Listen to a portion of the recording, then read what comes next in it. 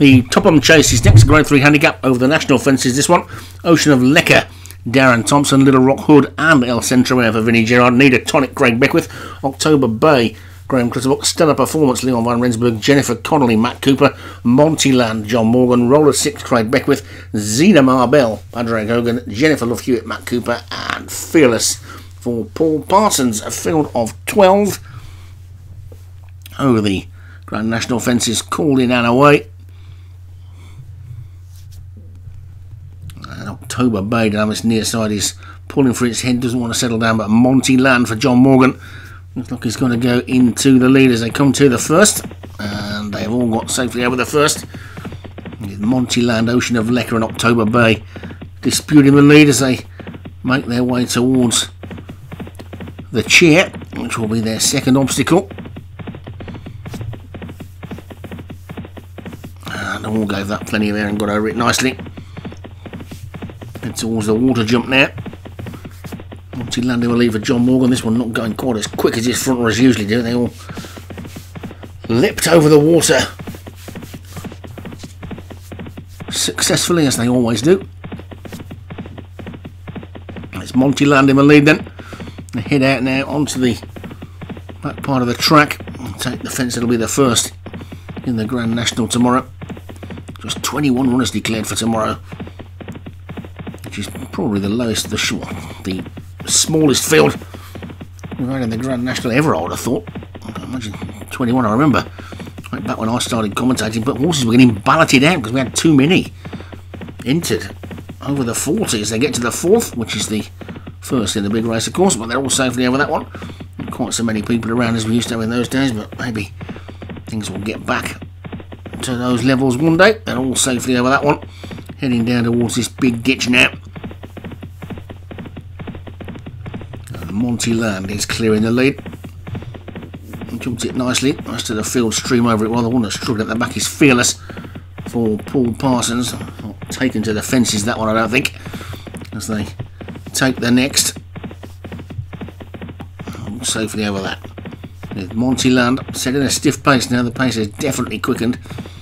Jennifer Love Hewitt's moved through in a second. Stellar performances after that one as they take number eight. There's a faller there. It's Jennifer Love Hewitt that's gone. So bad luck there for Matt Cooper.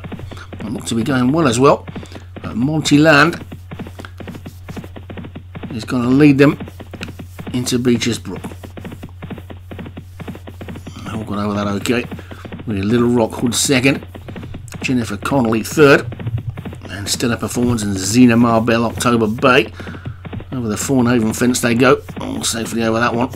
Fearless getting a bit closer at the back now. Probably taking a while to get used to the fences, but it's now back with the rest of them. That's Monty Land heads towards the canal turn. All safely over the canal turn, and they're heading for Valentine's with Monty Land in the lead. Jennifer Connolly second, Little Rockwood third, Zena Marbell Roller sixes after that one. All safely over Valentine's End and Montyland is the leader. Only got a mile to go now. Montyland's in front from Jennifer Connolly and Little Rock Hood. Then comes Roller Six and Zena Marbell as they take that one all over it nicely. Field starting to bunch up behind this leader who is still Montyland for John Morgan. John Morgan's Montyland in the lead then from Jennifer Connolly. They take that one. Oh, Over that one they go. That was the final ditch. They've only got three more to take then now. And it's Montyland in front. Jennifer Connolly is in second. Zena Marbell and Roller 6 October Bay on the inside. Then Ocean of Lecker who's getting a bit closer. Look at this fearless. He didn't like the fences at all to start with, but now he's cutting through the pack like a knife through butter. The two Vinnie Gerard horses have dropped to the back, but it's Montyland who's in the lead. Montyland's led all the way so far from Jennifer Connolly in second. Roller 6 is back in third. October Bay is four. Then Zena Marbell, Oceans of Lecker, and Fearless just two to take in the straight then now. And Montyland is clear by four lengths and is kicking on again in front from Jennifer Connolly and Roller 6. October Bay's after that. Then a gap to Zena Marbell, Tonic, Oceans of Lecker, and Fearless Stellar Performance. And El Centro here, Little Rock Hood is out of it as they get over the second last. But Montyland is well clear eight lengths clear now, Monty Montyland, and he looks like he's extending the lead, if anything. Jennifer Connolly in October Bay battling it out for second. Roller six and Ocean of Lecker next. This is the final fence. Montyland's over it. He's well clear. He's racing towards the elbow, and Montyland is absolutely miles in front of the rest of them, making a total mockery of the handicap. Monty Montyland, he's well clear now, ten lengths clear, racing past the elbow. He's racing up towards the line, and it's Monty Montyland. He's got half a furlong to go, but they're not going to catch him. He looks like he could go round again. Montyland takes this one easily from Stellar Performance, who's just second. Then Jennifer Connolly, Ocean of Lecanida, Tonic, October Bay, and all the way back to Fearless, who ended up last. But Montyland has just put in a pretty stellar performance to beat stellar performance by about 10 lengths or so, 8 to 10 lengths.